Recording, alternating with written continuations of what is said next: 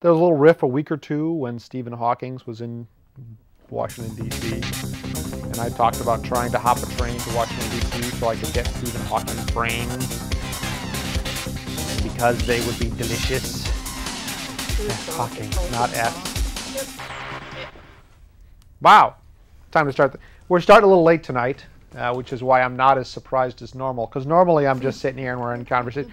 And you just missed it. We were having this great conversation here in studio about Sunnyvale and how Sunnyvale sucks. and I can say that because Sunnyvale has an access TV station, but we're not on it. So no one there is going to see me say that Sunnyvale sucks. Uh, someone here tried to do a documentary on Sunnyvale and was forced to give up because nothing interesting had ever happened in Sunnyvale. Uh, they'd, they'd gotten a big government grant. They were like, yeah, we're going to get $7 million if we can do a documentary on something interesting in Sunnyvale. And they had to give the money back. Uh, I believe it went to study penguins or something like that. You know, something outrageous. Penguins and dry cleaning because nothing interesting had ever happened in Sunnyvale. I live on the very, very edge of Sunnyvale, which is if I were standing on my house and I threw a rock west, the rock would land in Sunnyvale if I had a, a good arm. I mean, I don't, and generally there's a house in the way. So if I throw a rock west, the guy across the street from me comes by and goes, "You broke my window." throwing a rock at my house. Or more likely, he went, You threw a rock at my window and it didn't break, but it did wake up my children. Please don't throw rocks at Sunnyvale from your driveway because you're not going to hit Sunnyvale and you're just going to wake the kids up. And I'd be like, I'm sorry. I wasn't intending to wake your children. I, I wanted to throw a rock and hit Sunnyvale because I hate Sunnyvale. Although I don't hate Sunnyvale, I'm kind of ambivalent. I drive through Sunnyvale. And I got a ticket from a Sunnyvale cop once. so I kind of hate Sunnyvale but I also got a, a, ticket from a Cupertino cop, and I I guess he was a sheriff, so I really hate the the county sheriffs. And uh, I don't want to go into it because it makes okay. Here's the thing. So you're driving to work on your own in your car, and then you look in your rearview mirror and there's lights, wee wee wee, and the cop pulls you over. And first of all, you're in front of a school and there's a big fire zone. So you drive past the big red fire zone and then you pull over. And he's like, "You should have pulled over when I kept behind you." And I'm like, I wasn't going to stop in the fire zone. He's like, you should have stopped. I'm like, what? What if there was a fire? like, would the cops go, that's okay, that, that fire truck can wait. We're giving this guy a ticket for running a stop sign, which he didn't run. Because I stopped, and the cop's like, you didn't stop. The sheriff's like, you didn't stop. And I'm like, I'm pretty sure I stopped. And he's like, I saw you. I'm like, did you tape me? He's like, no, we don't do that. I'm like, well, now what am I going to do? I'm going to go to court and you're going to go, he didn't stop. And I'm going to go, I think I did. and then the judge is going to go, well, you owe this much money because he says you didn't stop. And I'd be like, I did stop. And he's like, well, you're biased. like, isn't he biased? Like, no, he's a cop. And I'm like, he could still be biased. I just, I just went to freaking traffic school on the internet. I typed all my little questions in and, and I got a good score. And then in Santa Clara County, after you go to traffic school online, you have to go to traffic school in person and take a little test to prove you went to traffic school online, which never made a lot of sense to me. And then I aced that test. And then I talked to the guy afterward, and he's like, Yeah, we get a bunch of money for running traffic school. And I'm like, well, I know, I paid it. And he's like, how many people don't pass? He's like, almost everyone passes. And I'm like, okay. And he's like, a lot of them really rush through the online thing. And I'm like, you can't rush through it. It won't let you go too fast. And he's like, oh, people do other stuff. And I'm like, I knew I should have been doing other stuff. anyway, welcome to Keith Explains tonight. Uh, tonight, first topic, I'm going to, here you go. See, freeze people with good TVs could freeze frame that, and then you could just turn off the TV and go see something else because now you know what I'm going to talk about, except I didn't show you that one. There we go. See, that side's blank. See, page one, page two, page three. Nothing. I ran out of ideas. Actually, I didn't run out of ideas. I just stopped writing because I went, there's no way in heck I'm going to get to the last item here, which is origami. Just you wait and see. If I'm if I end up talking about origami, uh, I will tear this piece of paper in half and eat the blank part. After you fold. I'm not going to eat the red part because, well, first of all, it's got words on it that I might need, and secondly, I have no confidence that they didn't put poison in the red ink in these cheap pens I buy because they're probably from China. I wonder if they say made in. Nope, I'm never going to know. Anyway, topic one. This has been a big topic on the discussion boards. People have written in many times. Keith, can you explain healthcare reform? oh, sure. And I can, but that's how I know there's no way I'm getting to origami because it's going to be very long to explain healthcare reform or health insurance reform or whatever the heck you want to call it. Uh, topic one people said, hey, what's this public option I keep hearing about? Isn't that like nationalizing healthcare? And I'm like, no, the two have nothing to do with each other. Uh, here's the thing. So, in America, people have insurance generally because they have a job and their insur- their employer gives them insurance, or because they're married to someone that has a job whose employer gave them insurance, or because they're 14 and their dad has a job and his employer gives him insurance. Do you do you see the common thread there? It's all people get insurance because they have a job and the guy that gave them the job is paying for the insurance. And that all works well if everyone has a job, but not everyone does. And it's getting less and less so every day. And that causes a lot of problems in the world. Um, number one, people without jobs don't have insurance, but people without jobs can still get sick or get hit by buses. Heck, they might be more likely to get hit by buses because they're out during the day because they don't have a job. So, getting insurance because you have a job doesn't work terribly well. No one else in the world really gets insurance because they have a job. Uh, I suppose the most extreme example is Somalia, where no one has a job and no one has insurance. It's a libertarian paradise, really.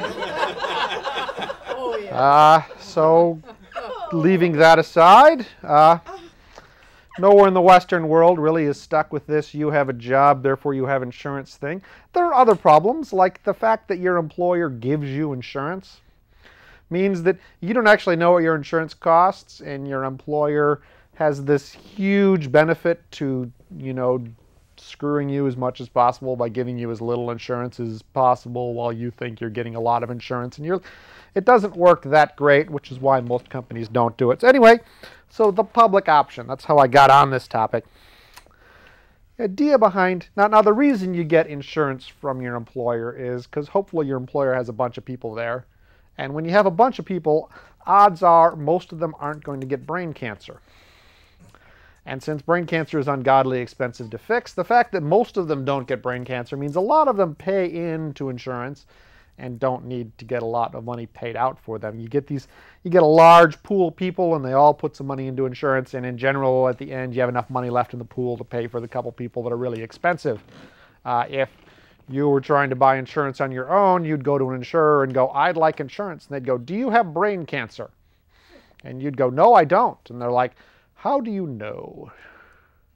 And you'd go, I don't know how I'd know. If I had insurance, so I could see a doctor and he could tell me. And then they'd be like, We're not going to give you insurance because you might have brain cancer, and that's ungodly expensive to fix. And so just go away. And then you have to go get a job. And then your employer would go, Do you have brain cancer in the interview? And you go, I don't think so. And they'd go, Well, it's okay. We can't not hire you if you have brain cancer anyway, so never mind. Uh, can you be here Monday at 9? And it'd be like, if I don't have brain cancer, I'll be here Monday at 9. If I'm not here Monday at 9, send someone by the house to see if I've fallen and died. Uh, and then you show up and they give you insurance and, and everything seems to be okay up until you do get brain cancer. And then you go to the hospital and they're like, We're, you're like, I'm here for the brain cancer thing. And they're like, door seven. And you go to door seven and they put you in a bed. And then right before they're ready to take the brain cancer out of you, your insurance company will call the hospital and go, Yeah, we were checking into things, and it turns out you had a bunion. Back in 1974, you forgot to mention, so we're not going to pay for the brain cancer because there's anecdotal evidence that bunions lead to brain cancer.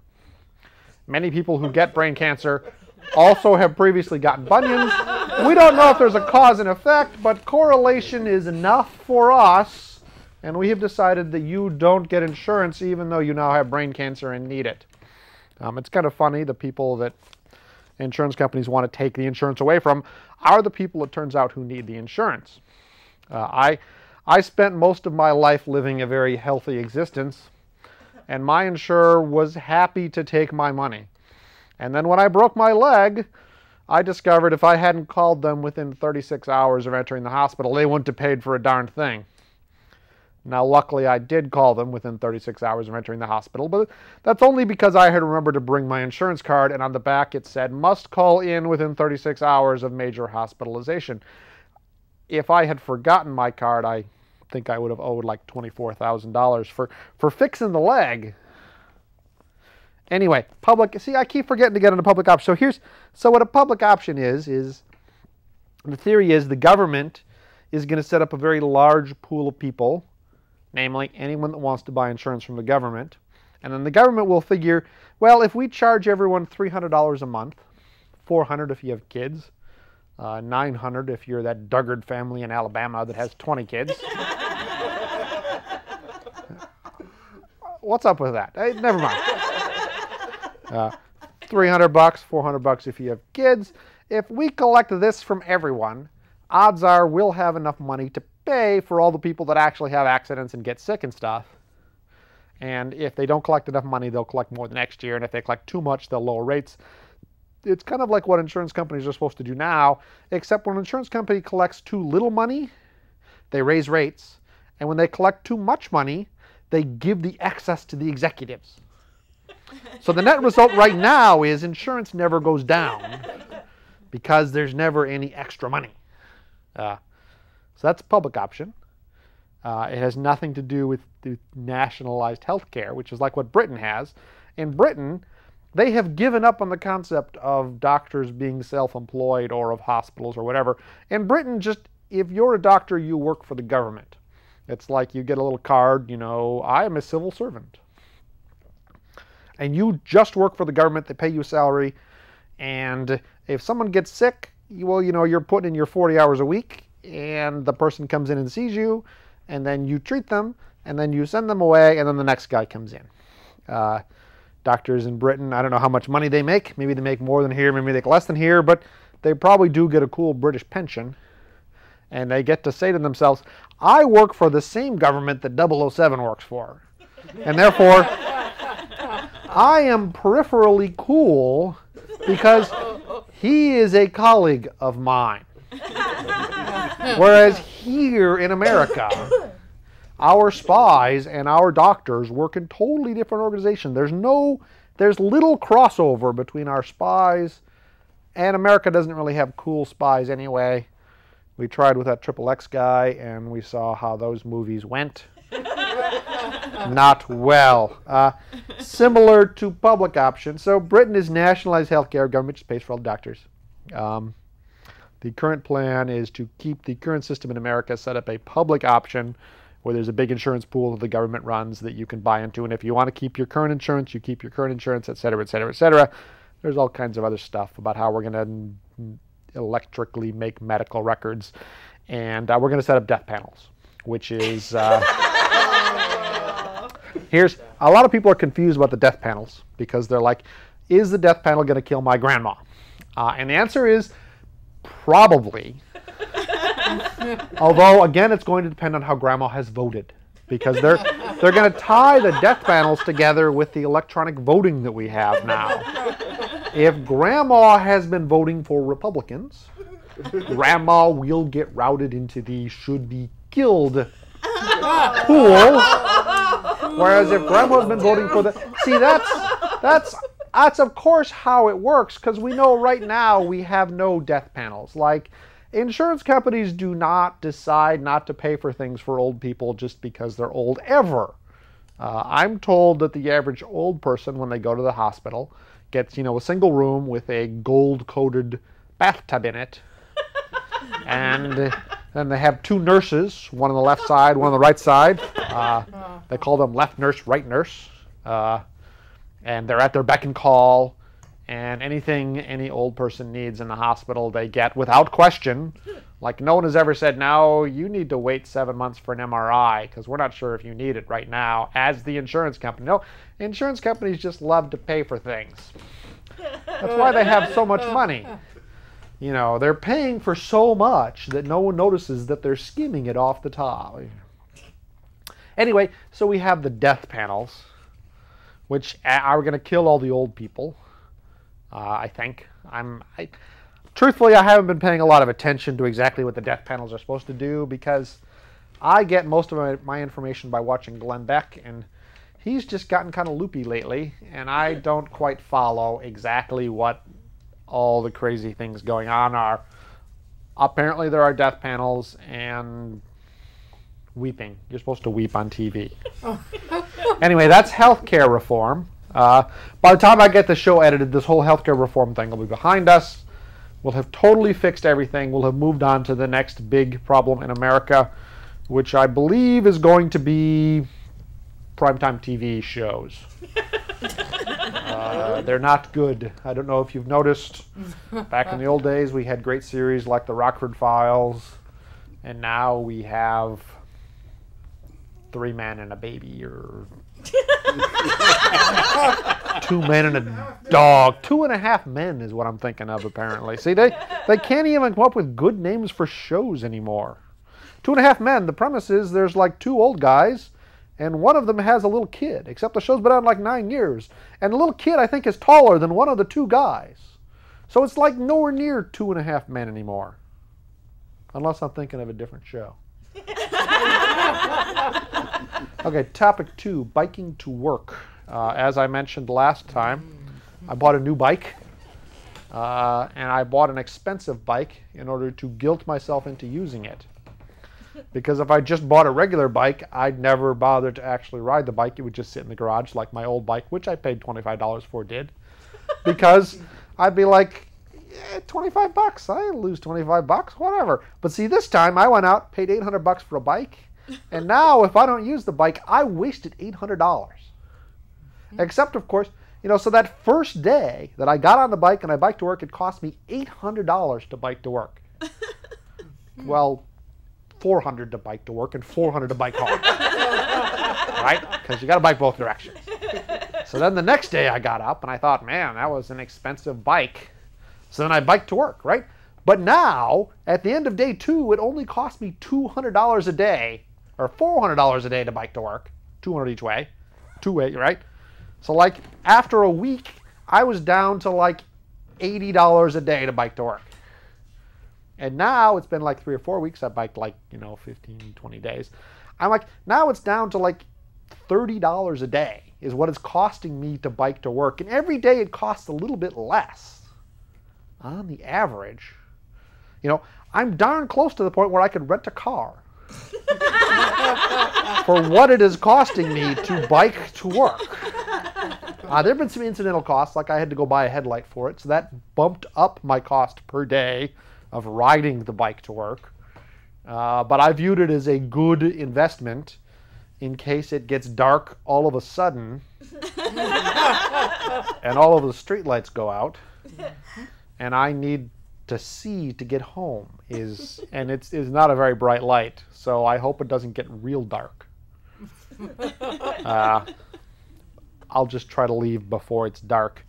Um, so for biking to work, so I get up early in the morning, like 9, 9.30. okay, I get up earlier than that, but not a lot because I am an engineer. I don't want to. I don't want to lose engineer cred by getting up early.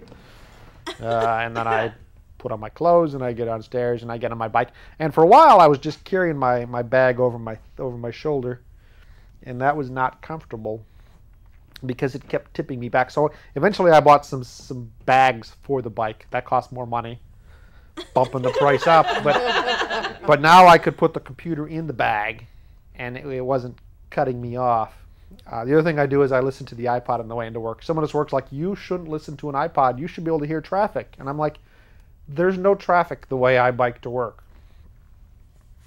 I get on a little side street and then a little side street and then a third little side street and then I'm on Homestead Road for two blocks and then it's side streets again. He's like, there could still be a car. And I'm like, I still, I got to listen to something because I've always got to have information going into my head. If there's no information going into my head, that's wasted time. So I get my little phone out and I plug my headphones in. And then I put my phone on the NPR app so I can listen to the radio on my phone. now, I could just get a radio and listen to the radio on my headphones, but I need to have my phone digitally tuned, you know, to a radio station over the internet so I can hear it because I'm too cheap to buy a radio. And so the cool thing is I will be biking to work and it will just go out for no reason at all because I have biked through a dead zone. And I even know where these dead zones are. Namely, there's like one along Homestead and there's one on this street near our house. Because in the car, when I'm driving, if I'm on the phone, it'll go out for a couple seconds. Except on my bike, it goes out for like a minute because I'm slow. uh, I have a speedometer that tells me what my speed is, and I, I can pretty reliably do 8 miles an hour on my bike. And people are like, couldn't you walk faster than that? I'm like, no, I also walk kind of slow compared to the 30 miles an hour I drive. but so I'll be on my bike, and suddenly the radio will stop. And then, like a minute later, it will pick up again somewhere else, and I have missed a minute of the show. And I every time that happens, I think to myself, you should just go buy a stupid radio. They're like four dollars. and since the radio waves are being broadcast in real time and going through me the whole time I'm on my radio, I'm on my bike, it's probably no worse off than now when I'm using a very expensive phone to emulate a very cheap radio. And then I thought, but but then I couldn't listen to far away radio stations. Like, what if I want to listen to Maine Public Radio on the way into work? I can't tune Maine Public Radio from here. And then I went, but I don't. I always listen to KQED, the local public radio. I don't know why. the other thing I have discovered about biking to work is we have hills here. Never occurred to me there was any elevation here. Uh, there are, of course, the hills and the west and, and east edges of Silicon Valley. But I had always kind of assumed that the part I lived on was flat, like a pancake. Until I discovered that it's a lot easier to bike home at night than it is to bike in in the morning. And for a while I thought that's just because I had gotten up and hadn't had a lot of coffee and was tired. And then I thought, well, but there are parts of the bike ride in the morning that are okay, and there are parts of the bike ride in the morning that aren't okay. And like there's this one, like when I'm close to work, I'm headed down. I don't know the names of any of the streets. I've only lived here 20 years, for God's sakes. I'm gonna say Bollinger. It's not Bollinger. Blaney. It's Blaney. and there's this hill over 280 on Blaney that always nearly kills me. But after I have gotten over the hill, I turn towards Apple, and all of a sudden it is like I have hit molasses. And I'm like, man, is it really hard to go these two and a half blocks to Apple? Until one day it occurred to me, engineer genius that I am, that the problem is that that street basically is at a slight incline the whole way. And so in the morning I am biking uphill.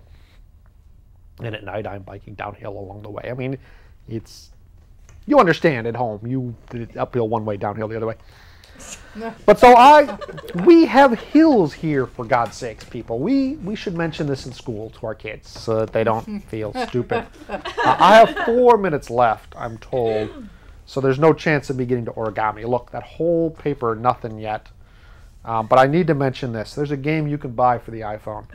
No. Um, it's I'll, it's called GeoDefense. I'm going to quickly show it to you just so that you don't think I'm lying. Okay, it's there. It's one of those icons. I'll the the edit the, the, the credits guy will put up a better picture of it. Under no circumstances should you buy this game for your iPhone. if you buy GeoDefense, and I think it costs like two dollars. I mean, everything for the iPhone is cheap. I don't know how they make any money off it. Like two dollars. You will lose weeks of your life playing this game. Okay. you will like play the same stupid level like 40 times, thinking if I just put the towers in the right place and get them upgraded on time, I'll be able to kill everything before they beat me. And no, no, you will not. Okay? you will keep trying. You'll be dragging. You'll be clicking. You'll be punching. You'll be frustrated. Okay? And you'll be like, oh, no one could possibly win this. And then you'll be sitting in your office early one morning, minding your own business, when an email comes in from a friend of yours that's like, I finally solved all the levels of GeoDefense. Now I'm just trying to get higher scores on all of them. And then you will curse him. You will curse this man. You'd be like, I am going to drive to your house if I knew where it was, and I'm going to beat you up if I knew how. but instead, I'm just going to sit here in my office and seethe because you sent me screenshots of all the, the levels with the high scores and the, oh, I'm trying to get above 4 million on level 21, and that you can't win 21. It's impossible, for God's sakes. You can't put enough lasers, and the little things keep getting. GeoDefense. Don't buy GeoDefense.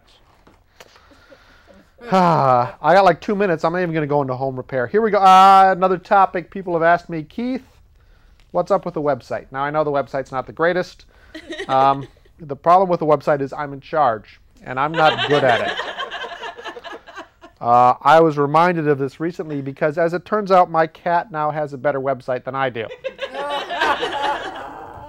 my cat, kittyphotographer.com, has a website where there's a new picture pasted every day and it's beautiful and there's things and the cat has a camera and you can see the pictures the cat took every day. And my website doesn't change for years at a time and has a crappy flash animation on the front page and I don't know what to do.